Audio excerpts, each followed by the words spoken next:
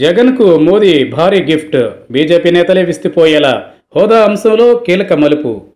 ప్రధాని మోదీ కీలక నిర్ణయం. ఏపీ ముఖ్యమంత్రి జగన్కు భారీ ఉపశమనం. ఏపీ ప్రజల్లో తనను దోషిగా చేసిన అంశంలో మోదీ పునరాలోచన.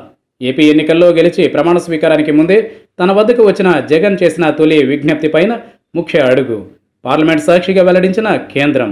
ఏపీకి సంజీవనిగా చెబుతూ మీరు ఇరవై ఐదు మంది లోక్సభ సభ్యులను గెలిపించండి. హోదా కోసం పోరాడతామంటూ జగన్ నాడు ప్రచారం చేశారు. ఫలితంగా ఇరవై రెండు మంది ఎంపీలను ప్రజలు వైసీపీకి కట్టబెట్టారు. ఏపీలోని బీజేపీ నేతలు హోదా ముగిసిన అధ్యాయమని జగన్ ప్రధాని అయినా ఏపీకి హోదా రాదని కాషాయ పార్టీ నేతలే చెబుతున్న వేళ ప్రధాని తాజాగా తీసుకున్న నిర్ణయం ఇప్పుడు ఏపీలో ప్రధానంగా ముఖ్యమంత్రికి భారీ ఉపశమనం కలిగిస్తోంది. ఏపీ విభజన సమయంలో రాజ్యసభ సాక్షిగా నాటి ప్రధాని మన్మోహన్ ఏపీకి ప్రత్యేక హోదా హామీ ఇచ్చారు. ఆ తర్వాత దీనిపైన నాటి యూపీఏ చివరి కేబినెట్ సమావేశంలోనూ నిర్ణయం తీసుకుంది. రెండు వేల పద్నాలుగు ఎన్నికల ప్రచారంలో భాగంగా నాటి బీజేపీ ప్రధాని అభ్యర్థి మోదీ ఏపీలో తాము హోదా ఇస్తామని ప్రకటించారు. కానీ అధికారంలోకి వచ్చిన తరువాత మోదీ స్వరంలో మార్పు వచ్చింది.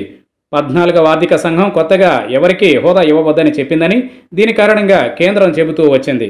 ఇదే సమయంలో నాటి ముఖ్యమంత్రి చంద్రబాబుతో జరిపిన మంత్రాంగం ఫలితంగా ప్యాకేజీకి ఆమోదముద్ర పడింది. అయితే రాష్ట్రంలో ప్రతిపక్ష నేత జగన్ రాజకీయంగా ఆ నిర్ణయం పైన ముఖ్యమంత్రిని ఇరకాటంలోకి నెట్టారు. దీంతో ప్యాకేజీ పైన ప్రత్యేకంగా ఎస్పీవి ఏర్పాటు చేయమని కేంద్రం సస్యమేరా అని ఏపీ ప్రభుత్వం చెప్పడంతో అది నిలిచిపోయింది. ఇక తాజా ఎన్నికల్లో మరోసారి మోదీ అధికారంలోకి వచ్చారు. ఇక్కడ ఏపీలో జగన్ ముఖ్యమంత్రి అయ్యారు. ఈ సమయంలో స్వయంగా ప్రధాని కార్యాలయం ఏపీకి ప్రత్యేక హోదా అంశంపైన పదిహేనవ ఆర్థిక సంఘానికి ప్రతిపాదన అందించింది. ఏపీ ఎన్నికల్లో గెలిచిన తరువాత జగన్ మే ఇరవై ఆరున ప్రధానిని కలిశారు. ప్రమాణ స్వీకారానికి ముందే ప్రధానిని కలిసి ఏపీకి ప్రత్యేక హోదా పైన నిర్ణయం తీసుకోవాలని అభ్యర్థించారు. అదేవిధంగా అమిత్ షాను కోరారు. నీతి ఆయోగ్ సమావేశంలోనూ విజ్ఞప్తి చేశారు.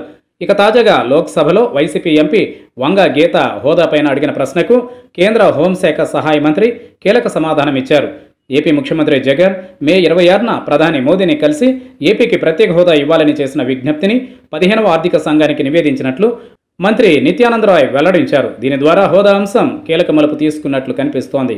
ఇప్పటి వరకు పద్నాలుగవ ఆర్థిక సంఘం నో చెప్పడంతోనే ఏపీకి హోదా ఇవ్వలేదంటూ కేంద్రం చెబుతూ వచ్చింది. అయితే పద్నాలుగవ ఆర్థిక సంఘం అలా చెప్పలేదని ఏపీలోని పార్టీలు వాదిస్తున్నాయి. ఈ సమయంలో తిరిగి పదిహేనవ ఆర్థిక సంఘానికి ఇప్పటికే ఏపీ ప్రభుత్వం ఇచ్చిన వినతులతో పాటుగా స్వయంగా కేంద్ర ప్రభుత్వమే ఏపీకి హోదాపైన నివేదించడం కీలక మలుపుగా భావిస్తున్నారు. దీనిపైన రాజకీయంగా మరింత ఒత్తిడి పెంచితే సానుకూల నిర్ణయం వచ్చే అవకాశం ఉంటుందని అంచనా వేస్తున్నారు. ఇప్పుడు నీతి ఆయోగ్ ఏపీకి ప్రత్యేక ఆర్థిక సాయం కోసం సూచనలు చేసింది.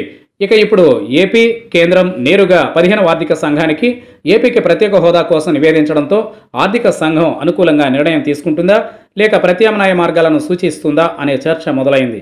కేంద్రమే ప్రతిపాదన చేస్తే ఖచ్చితంగా అనుకూలంగానే నిర్ణయం ఉంటుందని వైసీపీ అంచనా వేస్తోంది.